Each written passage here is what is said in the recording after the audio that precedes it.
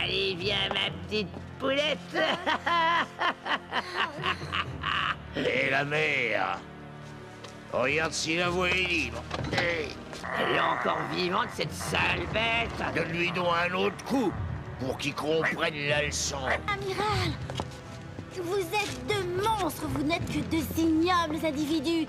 Vous n'avez pas de cœur. Lâchez-moi Lâchez-moi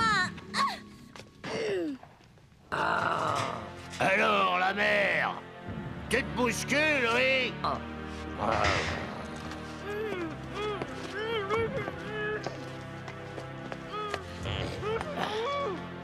Allez, viens un peu par ici, ma jolie princesse. Ça va te changer des beaux quartiers.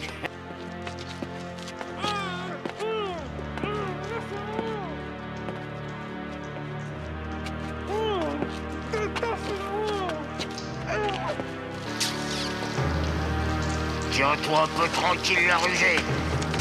Fais pas d'histoire. ou Je te donne à bouffer à ces rats. Ici.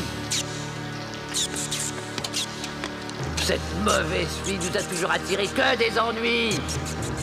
Regarde-moi ces pauvres petites bêtes.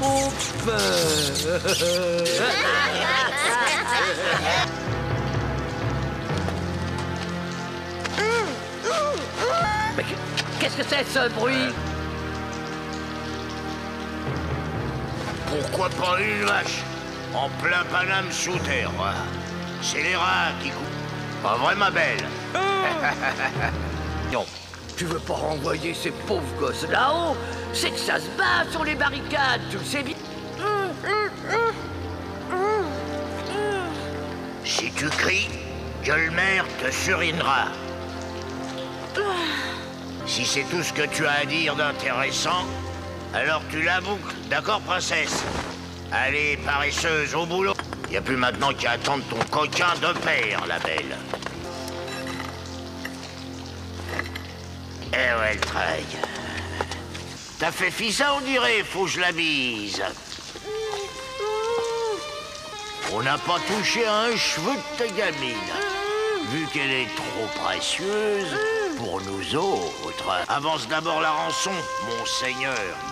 Et ensuite, on vous rendra votre fifille. J'ai bien reçu ma bafouille. Elle était déposée à votre domicile par mes deux beautés. Cent mille écus que vous devez me payer pour la liberté de votre guenon. Je n'ai rien reçu du tout. Je n'irai chercher l'argent qu'après avoir parlé à Cosette. Père, père, il ne fallait pas venir ici.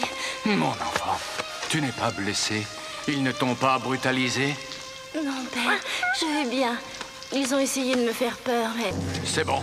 Je vais aller te chercher la somme, mais j'exige que tu détaches ma fille. Contentez-vous pour aujourd'hui de mes cent mille écus.